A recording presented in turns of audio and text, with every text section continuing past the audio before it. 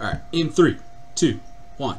Hey everybody and welcome to the Geeky Grind. That's right, all of our nerd content has been rebranded as the Geeky Grind. Uh, for today's episode, we are going to show you how to paint a Primaris Chaplain on bike in my Deathwatch color scheme that I like to use. So, let's go through those paints. We've got Black Templar Contrast, some Abaddon Black for fixing any mistakes on that black armor, uh, some Rhinox Hide, some Mephiston Red, Wraithbone, Administratum Gray, Vallejo's White Aluminum,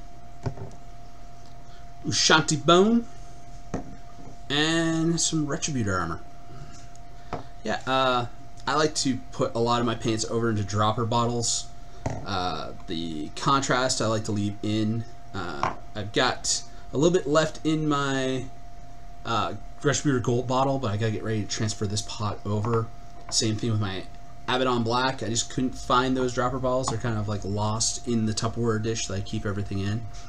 But those are the paints you're going to need. The good thing is I've got a nice little list of them somewheres here on the screen for you to go through. There's also the list will be down in the comment section below. But let's start off. Let's let's dive in. Let's start watching me paint this mini together. So I started with a Zenithal Prime, and here I'm just putting on all the silver details. Uh, like to put the silver on first before I do the black uh, because anywheres that I've accidentally like gotten some flecks of the silver paint uh, a little splatter might give me give that silver a little bit of shine in some of those spots uh, if and it will be a dull down shine it will it won't like this silver is nasty uh, at times. It kind of does splatter spray if you don't have a lot of very fine brush control. Uh, notice that when I painted a bunch of sisters tanks that I had going on, they had like sprays everywhere of silver, and I was just like, Ugh. So want to try to get that metal down first as much as I can, and then paint over so it kind of hides and dulls. That's also why uh, brought in the uh, Abaddon Black, if you got any spots of silver in this step that get onto the places you want to keep black, you can keep them black uh, by just going back in and touching those up. So we moved over to the blacks at this point. Uh, this is where I like having the Zenithal Prime because I can get a really good transition. I can get a lot more contrast out of the contrast paint if there are these white spots on the mini as well as the dark spots. That black's just going to be a deeper richer black wherever it's black and you know once this dries you're definitely going to get on the sharper edger lines there is going to be that translucentness that contrast paint gives you but I just feel like this allows for some more some more natural contrast going from those lighter spots down into the black it just overall makes it look better so give yourself even if you're just using even if you're using contrast paints use a zenithal highlight. Don't go with that basic paint everything that nice white color, that off-white, and then go for it. You want you wanna you want you want some you want some tr nice transitions, some cool you know blends without actually doing blends. Then contrast over a zenithal highlight is definitely my way that I love going for it. Um, so while I'm getting this slapped on here, I just want to talk about the whole fact of like I know this is considered to be one of the best minis, and like it's the best HQ in all of the Space Marine Codex. But I think the place where it really shines is in the Army of Renown for the Death Watch, with their whole kill team specializations, the Vicus Angelus, where basically you can teleport this guy straight up the.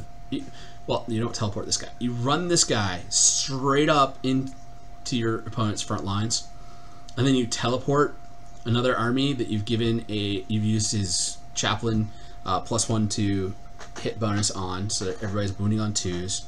They've also gotten from a captain or uh, somebody else. They're getting the whole reroll ones or the full reroll. Uh, well, you just need reroll ones. give them a reroll one aura plus one to hit, and then you pop that exterminus uh, three CP stratagem that that kill team gets, and everything's hitting on twos, rerolling ones, and you're just and the hail of bolter fire you can get out of these is just nuts. Uh, even in close combat ends up being pretty awesome if you can actually. Um, I like to kit him out where his two litanies is that he, I actually make him the uh, the oh the upgraded chapter master, so he actually knows like three. So I can be like, all right, he's getting plus one to hit for shooting. He's getting plus two to his charge roll. Also, as an aura, and he's gonna get the whole reroll in in comp in melee thing going on. So you can just like totally just like charge him up, give a bunch of bonuses onto an onto an army, and then just basically be like, all right, you guys teleport in and shoot, shoot, shoot, shoot, shoot, and then next turn you move them over somewhere else. You teleport another. You use either the teleport stratagem that you put somebody in reserve, or you just have some people that have been running up the beat, you know, advancing up the board, getting close, and he's just like, ah, everybody's gonna start dealing massive damage because I'm giving you plus one to hit. So, nah, it's it's been a lot of fun playing that. Alright, so here I'm just coming back in and finishing up a bunch of the silvers that uh, I didn't get done or I just want to touch up. Uh, this is the stuff I wanted to make sure that I could easily uh, cover that silver, cover any black that might have dabbed onto the arm. I wanted to have it be that nice uniform uh, silver of the Death Watch. Let's get my. I like painting these little uh, the little exhaust ports, the thrusters for the jetpacks. I like painting them all silver. It's a little touch I like to do on all of mine. Just makes the backpacks not stand out a little bit, but you know, not kind of like fade into the back of the model. Yeah, we're just gonna go over and touch up any areas of silver that might need to be a little done, a little stuff that I might have missed the first time around. Uh, also, these places that have like armor panels above them, if you get a little silver nicks onto that side where the paint's kind of where the black paint is, that just looks like battle damage. You know, you can go ahead and clean it up if you want, but I like to just yeah. Here I'm coming in with that Abaddon black and touching that back up. A little bit of that silver uh, spilled down. Didn't get my brush wicked off enough coming over here, getting the handle of the gun that's sitting in. Dab on the iconography of it. Picking out some of the bolts on the front tire. Yeah, that's looking good. That's looking sexy. Alright. Up after we got all the blacks and the silvers done, is we're going to come in with the Ushabti bone and start picking out all the papers, all the parchment. We're going to get in here with a nice, uh, I believe that's a 5-0 uh, brush I'm using. Really small tip brush, really delicate area. Just want to layer in, make sure you don't hit any of the other parts that you want to keep a different cut, you know, any of those silver chains probably would have wanted to actually paint that first. You always want to try to paint from the uh, from the inside out. Uh, I'm a little bit of a I like to do I like to do metals first. That way I can swap out paint water and uh, hide any metal mistakes. So a lot of this was going to have a lot of silver areas, so I did that silver first. Looking back, I probably would have done the book first. Um, here I'm going over the purity seals. Like to use Shanti Bone is a really good it's a really good parchment color. That's why I use it a lot for uh, purity seals and paper anytime I'm doing that. For the the skull parts actually I'm using the that's where we're putting the wraith bone in.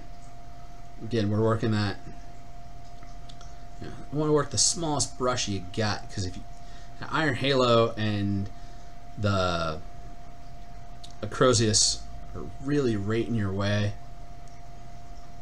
I'm doing this, getting the bones up on the acrozius. I'm using basically painting all in the same direction. I'm not going back and up. I'm not getting in between. I'm just kind of overbrushing. That way I can leave the shadows in those ribs as best I can. Also the shadows in the skull. I want to have those still be pretty dark. That way it gives some natural contrast. It's kind of like a, a bit like a dry brushing process, but uh, a lot more wet for this. Looking good, fam, looking good.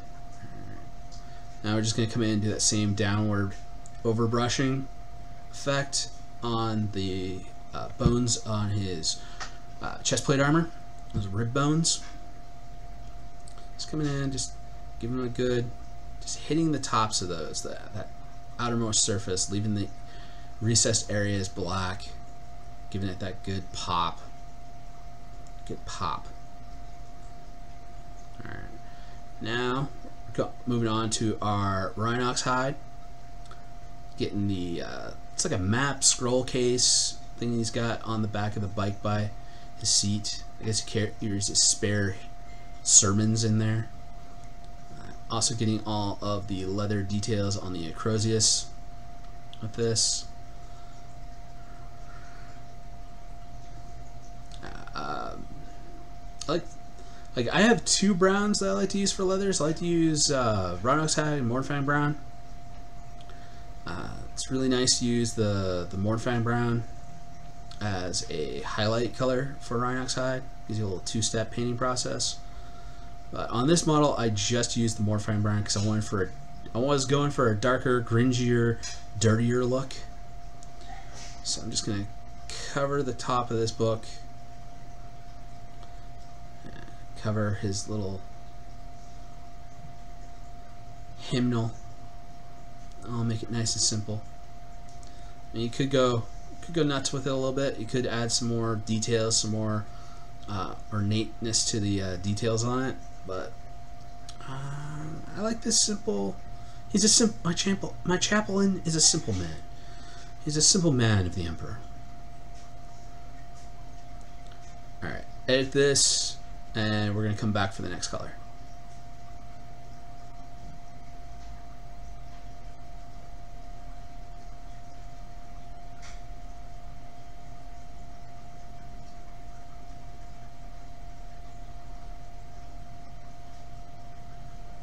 Alright, yeah, gotta get these purity seals over on this side.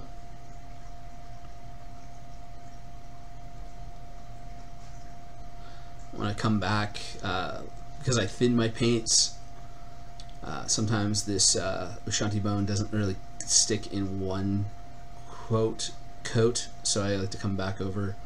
Let's do a second one. Of these areas. Alright, for the purity seals, this is where our Mephiston red is coming in. Just giving them a nice little brushing down. It's the red versus the silver, and also the red versus the black. It really pops out so stand out. Alright, on to Retributor Armor for our golds. Uh, doing these skulls on the handlebars, also doing the the detail bits of the Acrosius. I really want that Acrosius to be a focal point of the armor. Well, focal point of the mini, That really that gold pop against all this black. So, it's going. I'm just giving this a good brushing, trying to stick in. Get it good. And not really worried too much. Had to go back in and add some more because my paint was a little thin. Again, metallics and dropper bottles are, uh, they do end up being a little thin. it does take a couple extra coats just gonna hit this iron halo. I know an iron halo should be, you know, metal color, but there's already so much silver on this model that I wanted, I wanted some gold to really uh, accentuate the model. I mean, it's black, so you know, black and gold can't go wrong. with those color pairings. Um, but just be careful working around that head. You don't want to get any that gold on that helmet or else you're going to have to repaint the helmet. Also doing uh, gold details the, the trim of his shoulder pad as well as some of the other key parts on his arm really break up that silver and make it more interesting make it so it doesn't just kind of like all blend together as one big lump of silver the Indomitus patch on his arm getting all that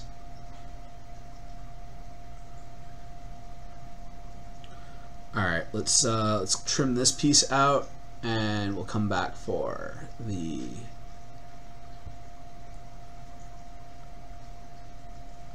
yeah, one last thing you don't want to miss that golden skull on the handlebars along with the little tassel.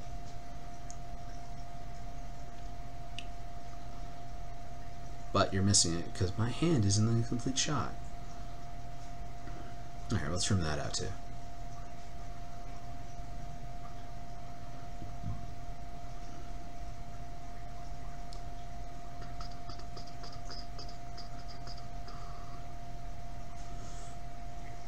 It's a good thing we're going to trim all this stuff out because we can get... Alright, I had a little bit of a problem here.